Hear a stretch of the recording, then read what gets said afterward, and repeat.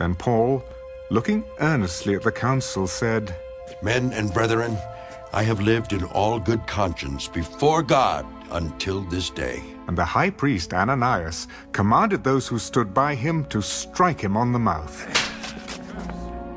God will strike you, you whitewashed wall. For you sit to judge me according to the law, and do you command me to be struck contrary to the law? Do you revile God's high priest? I did not know, brethren, that he was the high priest. For it is written, You shall not speak evil of a ruler of your people. But when Paul perceived that one part were Sadducees and the other Pharisees, he cried out in the council, Men and brethren, I am a Pharisee, the son of a Pharisee. Concerning the hope and resurrection of the dead, I am being judged. And when he had said this, a dissension arose between the Pharisees and the Sadducees, and the assembly was divided. For Sadducees say that there is no resurrection, and no angel or spirit, but the Pharisees confess both. Then there arose a loud outcry, and the scribes of the Pharisees' party arose and protested, We find no evil in this man, but if a spirit or an angel has spoken to him, let us not fight against God.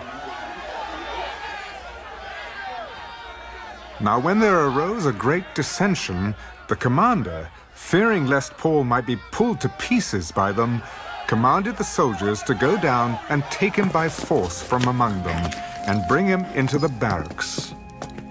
But the following night, the Lord stood by him. Be of good cheer, Paul, for as you have testified for me in Jerusalem, so you must also bear witness at Rome. And when it was day, some of the Jews banded together and bound themselves under an oath, saying that they would neither eat nor drink till they had killed Paul.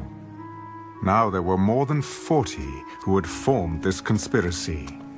They came to the chief priests and elders. We have bound ourselves under a great oath that we will eat nothing until we have killed Paul. Now you, therefore, together with the council, suggest to the commander that he be brought down to you tomorrow as though you were going to make further inquiries concerning him. But we are ready to kill him before he comes near. So when Paul's sister's son heard of their ambush, he went and entered the barracks and told Paul. Then Paul called one of the centurions to him. Take this young man to the commander, for he has something to tell him. So he took him and brought him to the commander. Paul the prisoner called me to him and asked me to bring this young man to you. He has something to say to you.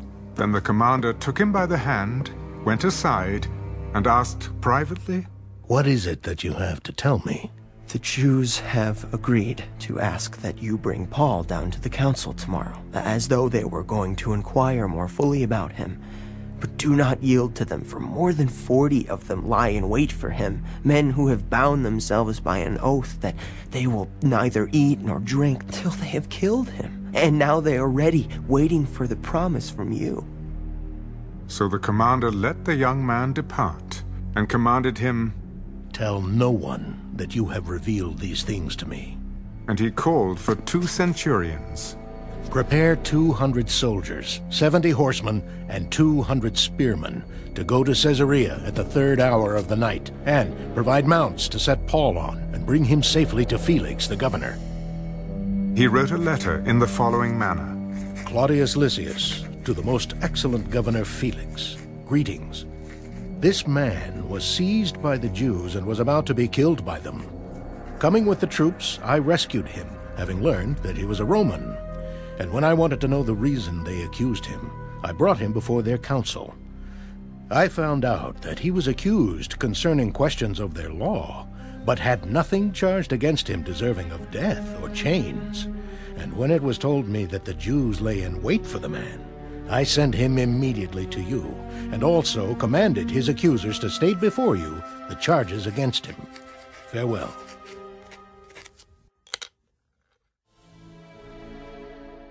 Then the soldiers, as they were commanded, took Paul and brought him by night to Antipatris. The next day they left the horsemen to go on with him, and returned to the barracks. When they came to Caesarea and had delivered the letter to the governor, they also presented Paul to him. And when the governor had read it, he asked what province he was from. And when he understood that he was from Cilicia, he said, I will hear you when your accusers also have come. And he commanded him to be kept in Herod's praetorium.